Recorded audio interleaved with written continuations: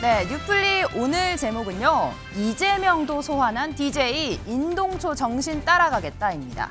13시간 30분 역대 최장 시간 검찰 조사를 받고 나온 이재명 민주당 대표. 이 30페이지, 30페이지가 넘는 진술서로 가름하며 사실상 이 묵비권을 행사했다. 아니다. 변호사가 옆에서 말릴 정도로 많은 진술을 했다. 여러 이야기가 나옵니다. 오늘 오전 김대중 전 대통령 추도식에 참석한 이재명 대표. 검찰 독재 프레임을 강조하며 탄압받는 지도자 김 전 대통령의 길을 따라가겠다 이야기했습니다. 이 DJ 정신이요 이틀 전에 이낙연 전 대표도 소환했었죠. 공포 정치에 민주주의와 법치 정의가 실종됐습니다. 다섯 번의 죽을 고비, 오랜 수감과 망명이란 모진 풍파 속에서도 인동초 정신은 조금도 흔들리지 않았습니다. 국민의 삶이 대한민국의 운명이 총체적 위기에 직면한 지금 행동하는 양심이 되자 벽에 대고 소리라도 치라 하시던 대통령님의 간절한 당부를 다시 떠올립니다. 당신께서 앞장서 걸었던 그 길을 따라 민주당도 흔들림 없이 전진하겠습니다. 네, 이재명 대표 오늘 오전 이 최고위에서는요. 어제 미국으로 떠난 윤석열 대통령을 겨냥해 이 한미일 정상회담 퍼주기만 해선 안 된다 나를 세웠습니다. 자신의 구속영장에 대한 질문에는 말을 아꼈는데요. 경제 위기가 심각합니다. 이런 정치 수사, 조작 수사에 쏟을 에너지를 경제 위기 극복, 민생 회복에 쏟아 주시기 바랍니다. 네, 영장이 혹시 회기 때 이제 청구가 되면 어떻게 좀 입장을 내실 생각이시죠?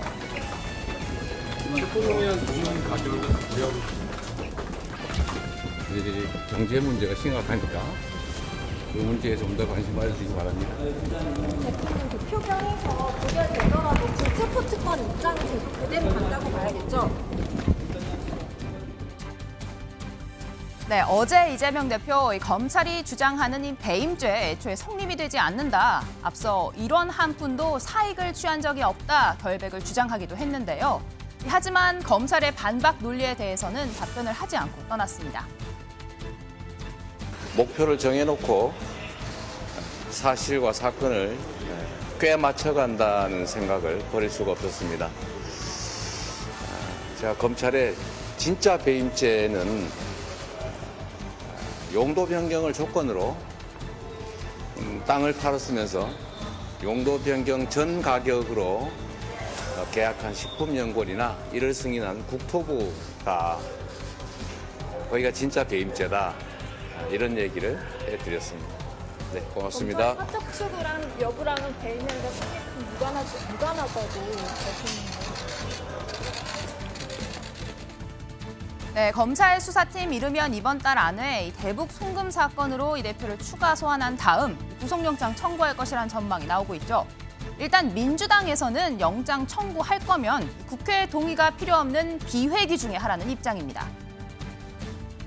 구속영장을 청구하면 심사를 받겠다고까지 다 얘기했고 음. 그러면 검찰이 비회기 중에만 청구를 하면 은 그만이거든요. 음. 그럼에도 아무것도 안 해주겠다. 그리고 우리 이재명 대표뿐만 아니라 여러 다른 의원들에게도 어, 그 어떤 혐의를 들씌워서 예. 어, 조사하고 뭐 소환하고 음. 압수수색하고 망신 주고 아마 안 치는 게 아니라 아마 못 칠 거라고 생각이 됩니다. 자신 있으면 쳐봐라. 라고 하는 이야기고요. 근데 이제 회기 중에 치게 되면 이제 정치적 목적은 있는 거죠. 예. 질질 끈다든가 어. 회기 중에 쳐서 어, 민주당의 네. 사실을 좀 흔들어대는 부분도 좀 있지 않습니까? 네, 당장 2주 뒤면 국회 정기 국회 회기가 시작이 되죠. 이 대표 본인 검찰 조사를 앞두고 이재명을 위한 국회는 열리지 않는다 이런 입장문을 냈습니다. 오늘 민주당도 방탄을 위한 국회 회기는 열지 않겠다라고 선언했습니다.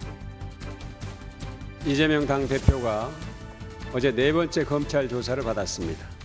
대선이 끝난 지 1년 반이 다 되도록 대선 경쟁자를 상대로 전방위적 수사를 진행하는 이 상황을 이제는 끝내야 합니다. 이재명 당대표는 영장 실질 심사를 받겠다고 거듭 밝혔습니다. 민주당은 이 대표의 영장 심사를 막기 위한 국회 회기를 열지 않을 것입니다. 국민의힘도 8월 임시국회 중에 비회기 기간을 두는 것을 거부하지 않을 것으로 기대합니다. 비회기를 그래도 다들 의향 있으실까요? 구체적으로 의사 일정과 관련해서 지금 양당 간의 합의가 되지 않고 있습니다. 여러 가지 복합적인 이유가 있습니다. 그 당대표의 체포 동의안 처리와 관련돼서 회기를 이렇게 좀 여지를 둘 것인가 여부를 가지고 민주당은 음, 말씀을 하고 있기는 합니다. 그러나 전체적으로 회기를 결정하는 데 있어서 민주당이 또 입법 폭주에 가까운 그동안 그 직회부된 법안들을 또 처리하겠다는 그런 의사를 또 표명하기도 하고 네, 하지만 이 대북 송금 재판 공전을 제- 계속하고 있는 상황, 8월 중에 결론이 나기는 어려워 보이는데요.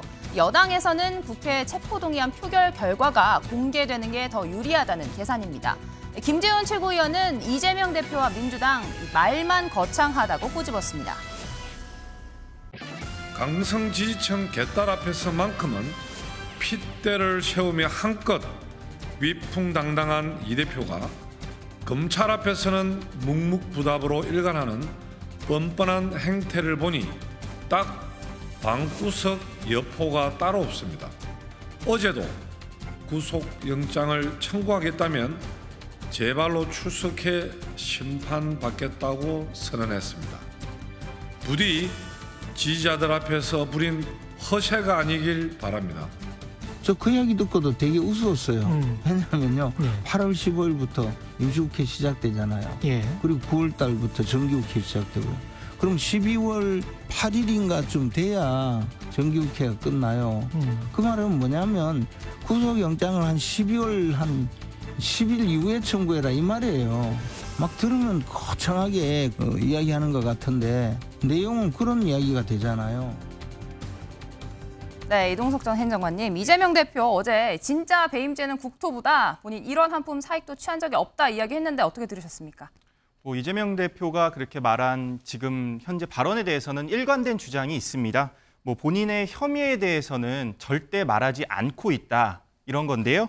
어, 다만 이재명 대표가 주장하는 건 현재 야당 탄압, 정치 수사 그러면서 뭐 검찰에 대한 독재 프레임을 계속해서 씌우고 있어요.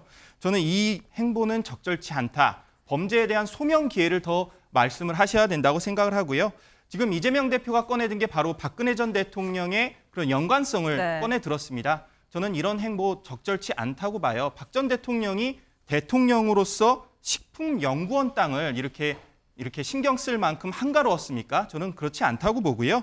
지금 이재명 대표가 어제 검찰에 출석하면서 저는 과거 세 번의 출석과 다른 점이 있었다고 봐요. 네. 어떤 거냐면 이재명 대표가 출석했을 때 그 전에 지지자들을 모았습니다. 지지자들 앞에서 연단 앞에 올라가서 이렇게 연설을 했거든요. 네. 저는 무슨 마치 검찰 앞에서 무슨 대통령 선거 유세하는 줄 알았습니다. 음. 저는 이런 정치적 행보 비판받아야 마땅하다고 생각합니다. 네, 한민수 대변인 일단 어제 행보 부적절하다라는 이야기가 나왔고 여당에서도 지금 방구석 여포다 비난 수위 계속 높이고 있는데 어떻게 들으셨습니까?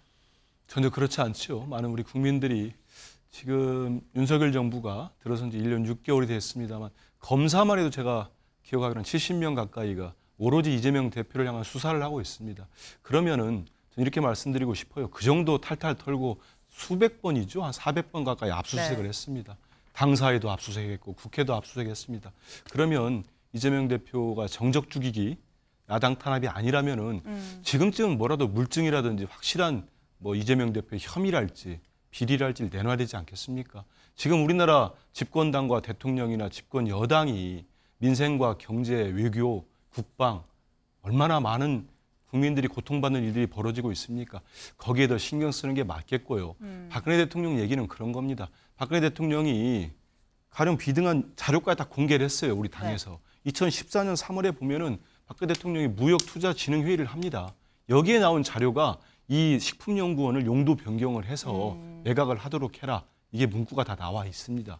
그래서 박근혜 정부의 공공기관전 특별법에 따라서 여덟 차례 이 부지가 유찰이 됩니다. 네. 낙찰이 안 되고 그리고 박근혜 정부가 세 차례의 그 용도 변경을 해라 지시를 합니다. 여기에 의해서 국토부가 성남시에 다섯 차례의 그 공문을 또 보내고요. 이런 명백한 것들이 있기 때문에 저는 검찰이 네. 제대로 정치하자면 수사를 하면은 이거는 이재명 대표는 충분히 어제도 가가지고 30장의 진술서를 내고 그 진술을 필요한 경우 다 했습니다. 그렇기 때문에 여당이 주장하는 것처럼 무슨 묵비권 전혀 사실과 다르다 이런 음. 말씀 드리겠습니다. 네, 이동석 전 행정관님 네. 오늘 DJ 추도식에도 왔습니다. 인동초 정신 이야기하면서 DJ 정신 본인이 계승하겠다 이런 이야기를 했는데요. 이 이낙연 전 대표도 얼마 전에 같은 언급을 했습니다. 어떻게 해석을 해야 할까요?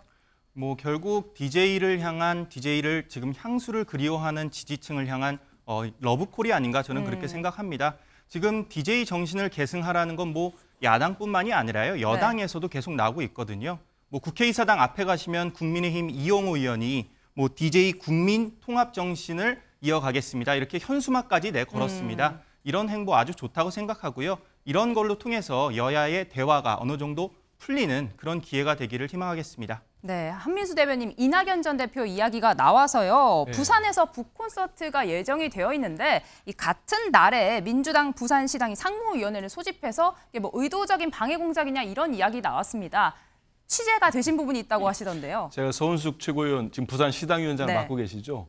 그 이런 보도가 있길래 제가 바로 전화 통화를 해 취재를 했습니다. 그런데 음. 저는 사실과 좀 다른 것 같아요. 왜냐하면 다음 주 금요일 날 네. 이낙연 전 대표님께서 어떤 한 포럼의 초청으로 부산에 와서 그 북콘서트를 하는 건 맞는 것 같습니다. 근데 그게 오후 4시고요. 부산 시당의 상무위원회는 매달 한 번씩 열리는데 네. 최대한 40분 정도가 현직 국회의원들하고 그다음에 지역위원장들 모이는데 이게 5시에 열린다고 합니다. 그래서 포럼 자체가 열린다는 거를 부산 시당이나 시당 위원장께 이렇게 알려오질 않았더라고요. 음. 그래서 시간이 뭐 1시간 차이가 있는데 전혀 같은 날 열릴 뿐이지 이게 어떤 행사 때문에 급히 잡았다거나 그거는 전혀 관계 없는 걸로 제가 알고 있습니다. 네, 서은숙 최고위원 이야기까지 전해 들었습니다. 오늘 뉴플리 여기까지고요. 다음 앵커의 픽 함께 보시죠.